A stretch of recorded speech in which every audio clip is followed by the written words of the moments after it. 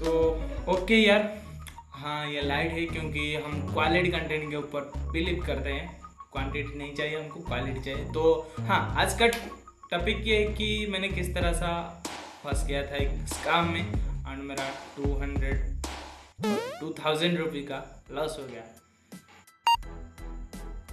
मेरे साथ ही नहीं, ये हर महीना हर लोगों के, मान बहुत सारे लोगों के साथ होता है। ये ओनली उड़ीसा में नहीं इंडिया में भी होता है। इंडिया सारा, सारे इंडिया में होता है डाटा एंट्री के नाम से और पार्ट टाइम के नाम से। ओके तो मैं बताता हूँ क्या कैसे हुआ एंड किस तरह से आप इससे बच सकते हो एंड किस तरह से आप जानोगे कि ये फ्रॉड है या स्काम है। बेसिकली ये स्काम है। फ्रॉड नहीं बोल सकता क्योंकि उनके पास लीगल नोटिस मतलब नोटिस था। लीगल मैंने साइन भी किया था। तो ये एक तरह का स्काम है, जहाँ पर आप फंस जाओगे। स्कैम किसको कहते हैं? एक तरह से कोई भी मतलब मैनिपुलेट करके लोगों को फंसा देना ओके मतलब लोग कुछ चाहते होंगे, लेकिन उनको और कुछ देकर फंसा देना ओके बात है तभी जब मैं मेरे हायर स्टडी के लिए भुवनेश्वर आया। बेसिकली अगर आपको पता नहीं है भुवनेश्वर क्या है तो भुवनेश्वर उड़ीसा का कैपिटल है and number one smart city भी। ओके तो मैंने यहाँ पर जब आया था तो हॉस्टल में रह रहा था तो मुझे ये लगा कि मेरे पास तो एक कंप्यूटर है मतलब लैपटॉप है एंड एक फ़ोन भी है एंड्रॉइड फ़ोन एंड मुझे इसका बेसिक्स भी पता है। मुझे इंटरेस्ट था इंटरनेट एंड कंप्यूटर के बारे में तो मुझे बेसिक्स मालूम था। तो मैंने सोचा, चलो बहुत लोग तो पार्ट टाइम जॉब कर रहे हैं तो पार्ट टाइम किया जाए। ओके मैंने क्या किया ना बहुत सारे ऐप को डाउनलोड किया जैसे जॉब पोर्टल के ऐप होता है ओ एंड जो भी वगैरह वगैरह होता है तो बेसिकली मैंने ओ में ही फंस किया था। ओके तो मैंने अप्लाई किया था। तो एक दिन क्या हुआ ना सडनली मुझे एक कॉल आता है। एंड वो बोलते हैं कि हाँ हेलो आप संदीप परिडा बोले मैं बोला हाँ मैं संदीप परिडा बोल रहा हूँ। आपने अप्लाई किया था जब के लिए? मैंने बोला हाँ मैंने अप्लाई किया था। आ, उन्होंने बोला ओके आपका क्वालिफिकेशन क्या है? आ, मैंने बोला बिल्कुल प्रोफेशनल लेजिट मतलब आप बिल्कुल बिलीव ही नहीं कर सकते हो कि ये कोई फ्रॉड बोला हुआ है या कोई स्कैम बोला हुआ ओके तो मैंने बोला हाँ। मैंने प्लस टू साइंस किया है। ना ओके ठीक है प्लस टू साइंस के लिए अवेलेबल है और मैट्रिक के लिए अवेलेबल नहीं है। तो मुझे यहाँ से थोड़ा सा ट्रस्ट है कि हाँ ये जेन्यून है क्योंकि यहाँ पर एक कंडीशन भी होता है। तो उसके बाद ऐसा उन्होंने बात किया कि मुझे लगा हाँ भाई ये कंपनी ठीक है। क्योंकि मैं और भी बहुत सारी कंपनी देखा था मतलब पोस्ट देखा था वहाँ पर लेकिन वो मुझे फेक लगा था क्योंकि वो बहुत ज़्यादा पैसा लिख रखे थे कि अब महीने के इतना कमाओगे इतना कमाओगे लाख लाख। तो वो फ्रॉड आपको पता चल जाता है जहाँ पर ज़्यादा पैसा रहता है। लेकिन यहाँ पर लिमिटेड थर्टी या ट्वेंटी था। आ, तो मुझे लगा शायद हो सकता है। तो उसके बाद उन्होंने कुछ बात किए एंड उसके बाद उन्होंने बोला कि अच्छा एक काम करो, तुम कल आ जाओ सुबह एट बजे ऑफ़िस में आ जाओ, हम तुम्हारा एक इंटरव्यू लेंगे, छोटा सा एंड आप इंटरव्यू में पास हो जाओगे, मुझे लगता है। उन्होंने ऐसा बोला मतलब मेरे अंदर एक कॉन्फिडेंस डाल दी एंड मुझे ऐसा लगा कि हाँ मैं कुछ यूनिक हूँ। तो वो ऐसे आपकी माइंड वॉश करते हैं ओके तो उसके बाद क्या हुआ ना नेक्स्ट डे में मैंने क्या किया ना, कभी भी सुबह नहीं उठता था, लेकिन उस दिन सुबह उठ गया एंड uh, मेरा सब काम ख़त्म करके मैं जेरेक्स दुकान में जाके डॉक्यूमेंट्स वगैरह जो उन्होंने बोला था Aadhaar card and plus two का सर्टिफिकेट वगैरह उसको लेकर मैं बस स्टैंड में गया। बस स्टैंड से शहीद नगर गया। शहीद नगर भुवनेश्वर एक एरिया है। तो वहाँ से मतलब बस जहाँ पर रुकता है वहाँ से मैंने टू किलोमीटर चल के ऑफ़िस तक गया। ऑफ़िस मुझे नहीं मिला था। वहाँ की लोकेलिटी को भी नहीं पता था कि ये ऐसा कुछ ऑफ़िस है।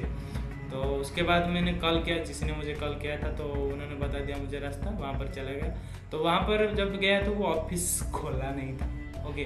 तो मतलब हमको बोला दिया है मतलब मैं अकेला नहीं था, बहुत सारे लोग थे दो तीन लोग थे। तो वहाँ पर दो तीन लोग थे।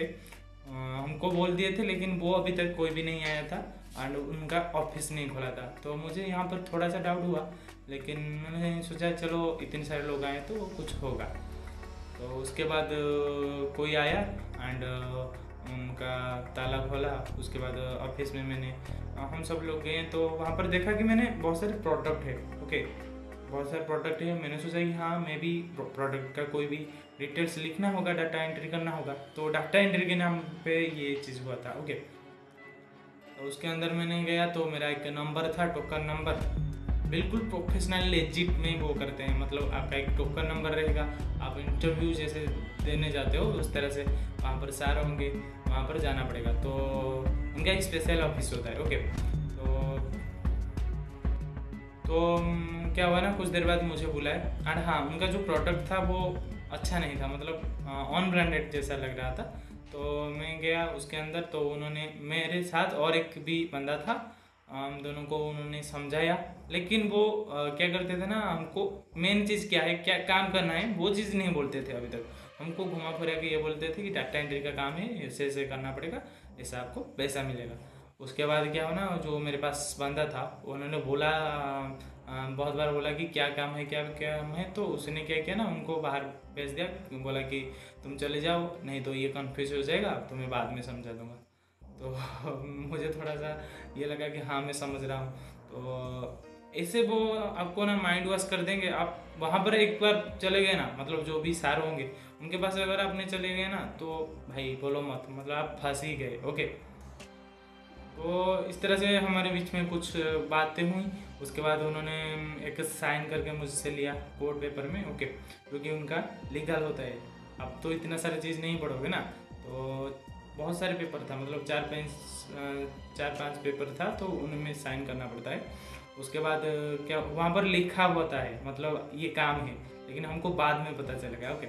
उसके बाद उन्होंने बोला कि तुम्हें एक करना है या दो। तो एक दो में क्या, मैंने बोला, एक दो में क्या प्रॉब्लम है? मतलब तफात मतलब फ़र्क क्या है? तो उन्होंने बोला कि अगर एक करोगे तो एक की सैलरी बढ़ेगी दो करोगे तो आपका सैलरी दो ना, दो गुना हो जाएगा। तो मैंने बोला, ओके, दो गुना कर दो दो कर दो। उन्होंने बोला एक की रुपीज़ प्राइस वन थाउज़ेंड है और दो का टू थाउज़ेंड तो मुझे दो। टू थाउज़ेंड रुपीज़ दो। तो मैंने बोला, मेरे पास तो इतना नहीं है, मेरे, उन्होंने बोला, कितना है? तो मैंने बोला फिफ्टीन हंड्रेड है। तो उन्होंने बोला, ओके, दे दो, बाद में मुझे फ़ोन पे कर देना। मैंने बोला, ओके, ठीक है। तो मैंने दे दिया। वहाँ मेरा माइंड वाश हो जाए हो गया था उस टाइम पे। मुझे कुछ समझ में नहीं आता। मुझे थोड़ा थोड़ा डाउट हो रहा था, लेकिन वो क्लियर कर देते थे।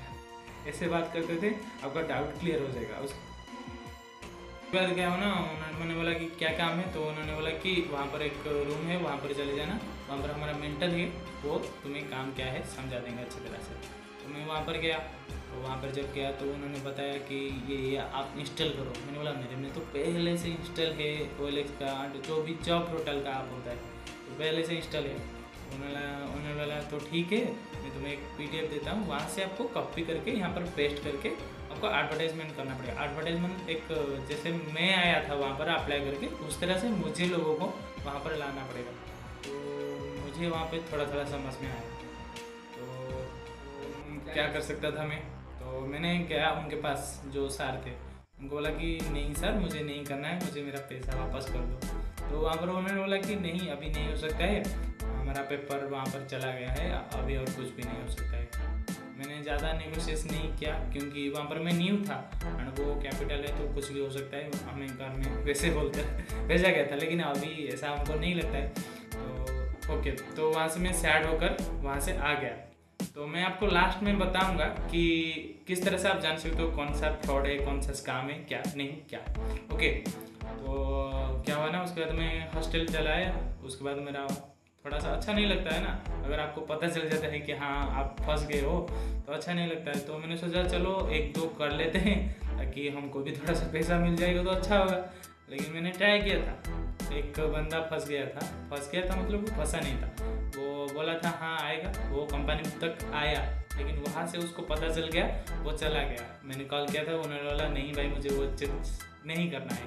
वो चीज़ नहीं करना है। तो मैंने और उसके बाद किसी को भी मतलब फोर्स नहीं किया, क्योंकि मुझे अच्छा नहीं लगा। क्योंकि मैं डाटा एंट्री करने के लिए जाया था, थोड़ी ना मैं लोगों को फंसाने के लिए वहाँ पर गया था। तो आप कैसे जानोगे कि कौन सा फ्रॉड है, कौन सा नहीं? तो बेसिकली पहले देख लेना कि जो कंपनी का जो प्रोडक्ट है, वहाँ पर आपको जेन्यून लग रहा है या फिर वैसे अन ब्रांडेड लग रहा है?